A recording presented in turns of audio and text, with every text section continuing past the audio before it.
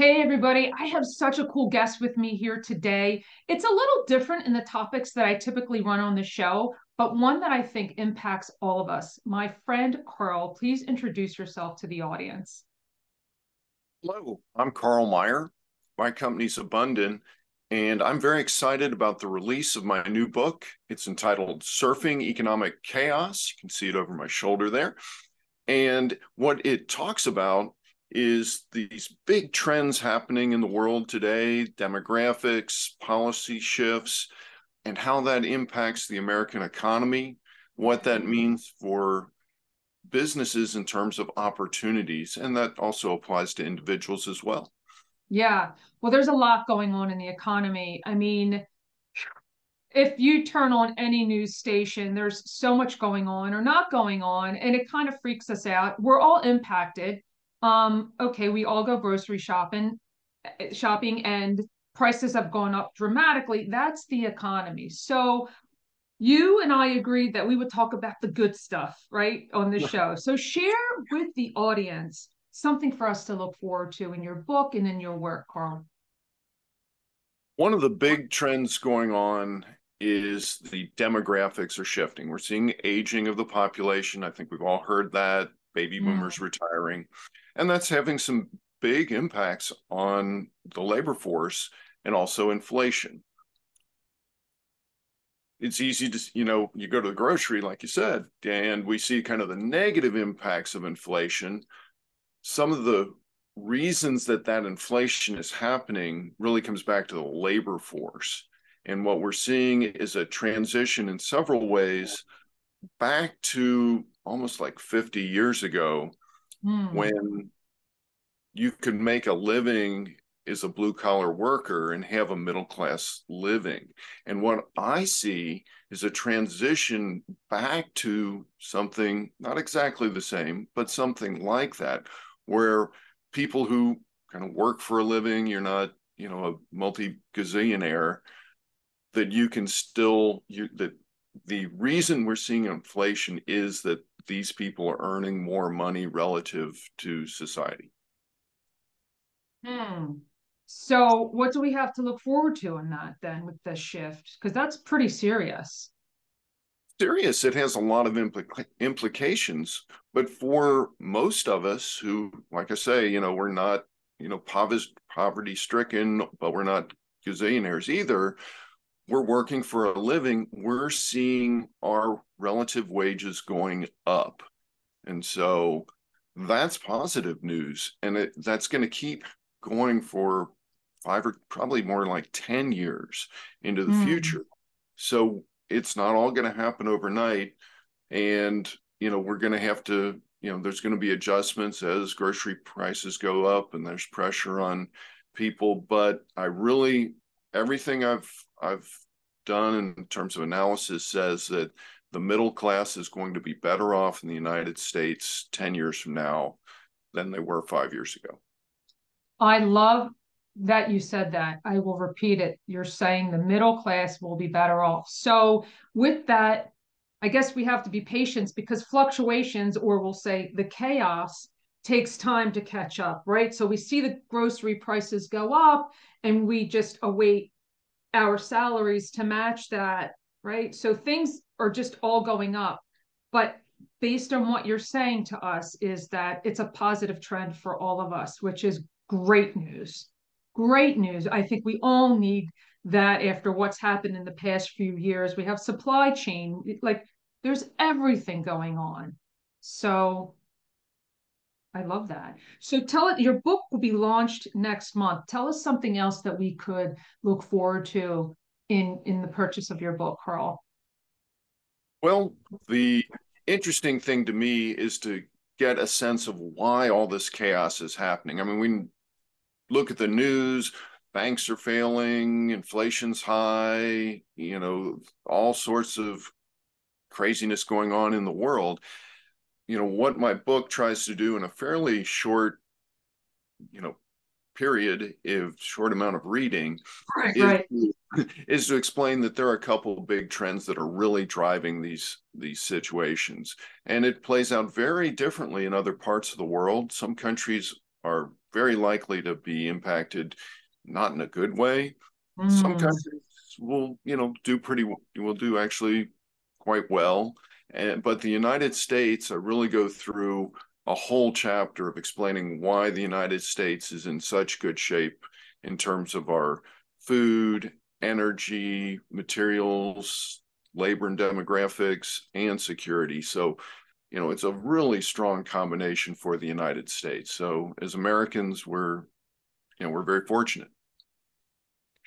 That is a load off, Karl, because I'll be honest with you, like we're fed so much the opposite of what you're sharing right? It's so good to lean into the good news, which is why I agree. Like, yes, I want to get the word out there that what you have to say is so important to our ears. It is music to my ears to know that, you know, we're in a great position. We live and work and breathe in the greatest country in the world. And you're reaffirming that for us. So, so grateful to understand and know that. And you've done that research in your book, which will be available uh, next month.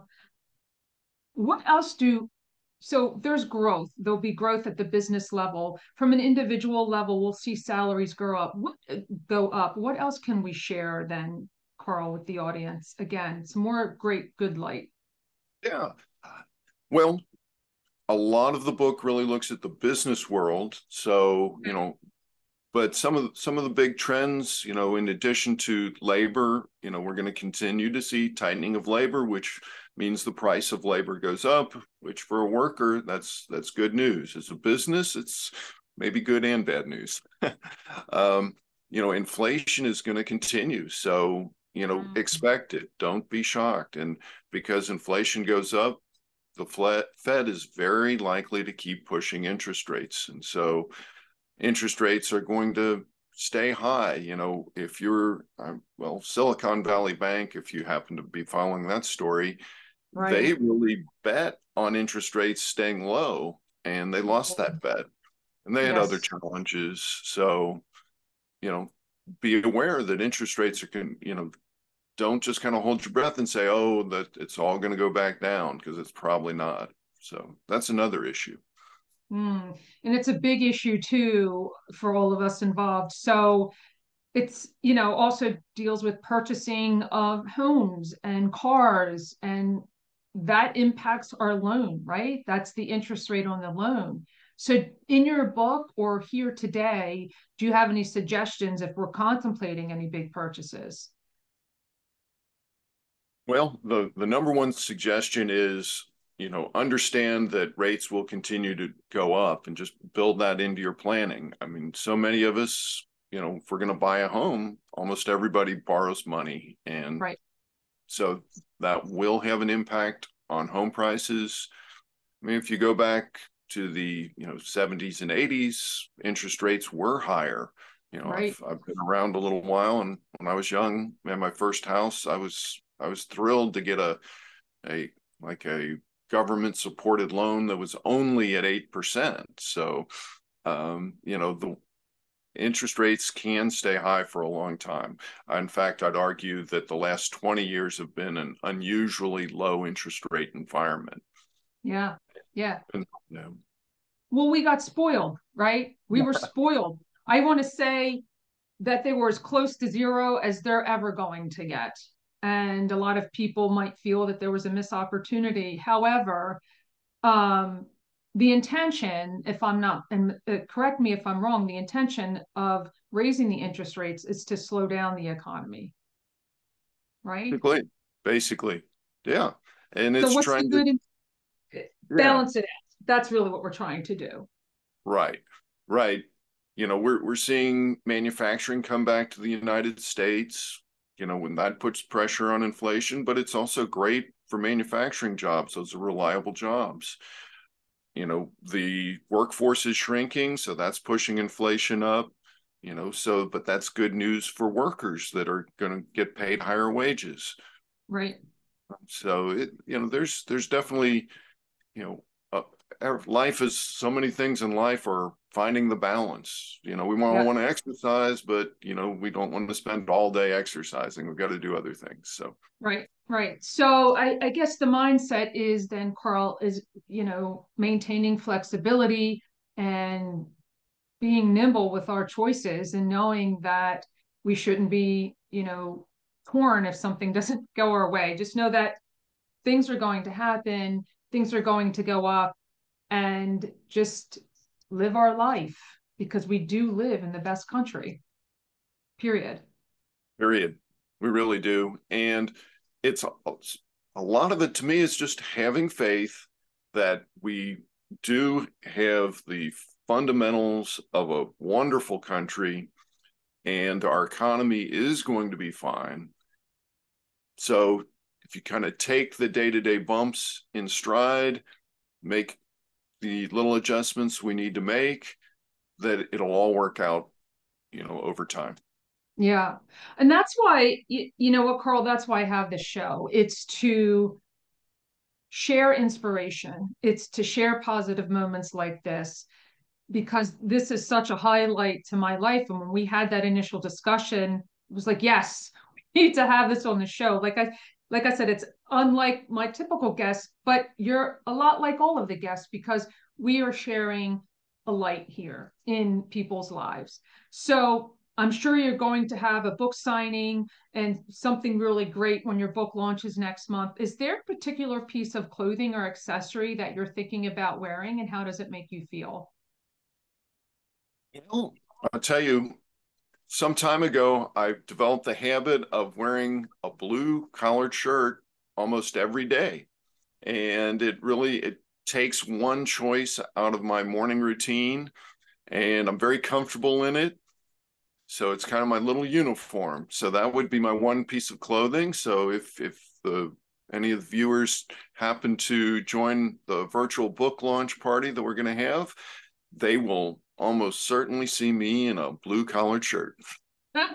well, there's a lot of good things. And I don't know if you know this, I've shared this before. Blue conveys trust and honesty. So your choice of colors is perfection, number one.